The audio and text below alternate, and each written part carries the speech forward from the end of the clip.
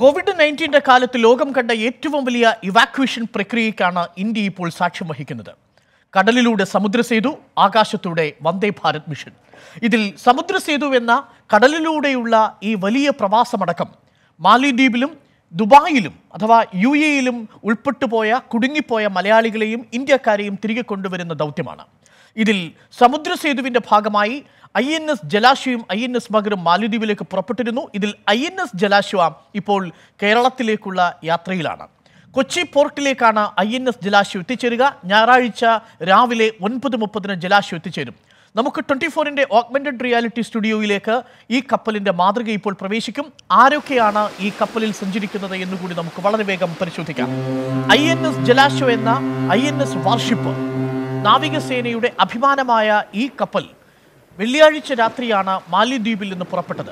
ആയിരത്തോളം നാവികരെയും വഹിച്ചുകൊണ്ടുവരാൻ ശേഷിയുള്ള ഈ ഐ എൻ എസ് വാർഷിപ്പ് യാത്രക്കാർ അറുന്നൂറ്റി തൊണ്ണൂറ്റിയെട്ട് പേരാണ് ഇപ്പോൾ ഇതിൽ ഉള്ളത് എന്നാണ് മനസ്സിലാക്കുന്നത്. ഈ അറുന്നൂറ്റി തൊണ്ണൂറ്റിയെട്ട് യാത്രക്കാരിൽ അഞ്ഞൂറ്റി തൊണ്ണൂറ്റിയഞ്ച് യാത്രക്കാർ പുരുഷന്മാരാണ് നൂറ്റി ഒൻപത് പേർ സ്ത്രീകളാണ്. അവരിൽ തന്നെ പത്തൊൻപത് പേർ ഗർഭിണികളാണ്. പതിനാല് കുട്ടികളും ഈ യാത്രാ സംഘത്തിൽ ഉൾപ്പെടുന്നു. മൊത്തം യാത്രക്കാരിൽ നാനൂറ്റി നാൽപ്പത് പേരാണ് മലയാളികൾ. ബാക്കിയുള്ളവർ ഇരുന്നൂറ്റി അൻപത്തി എട്ട് പേരാണ്.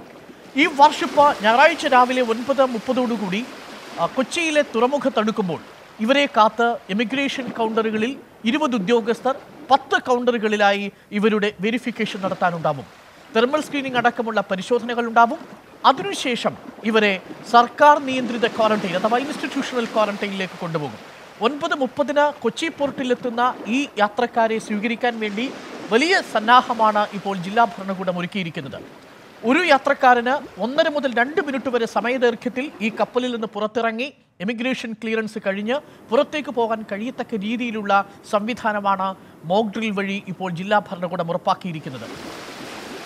പോർട്ടിൽ നിന്ന് പുറത്തിറങ്ങുന്ന ഈ യാത്രക്കാരെ കാത്ത് നാൽപ്പത് K S R T C ബസ്സുകളും അൻപത് ടാക്സി സർവീസുകളും തയ്യാറായിട്ടുണ്ടാകും.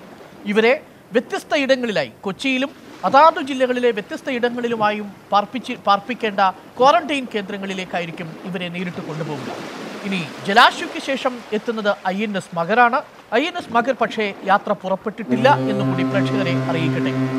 അങ്ങനെ ലോകത്തെ ഏറ്റവും വലിയ ഇവാക്വേഷൻ പ്രോസസ്സാണ് ഇന്ത്യ ഇപ്പോൾ നടത്തിക്കൊണ്ടിരിക്കുന്നത്. അതും ഇന്ത്യയുടെ നാവിക ചരിത്രത്തിലെ ഏറ്റവും വലിയ ഇവാക്വേഷൻ പ്രോസസ്സായി മാറുകയാണ് സമുദ്ര സേതു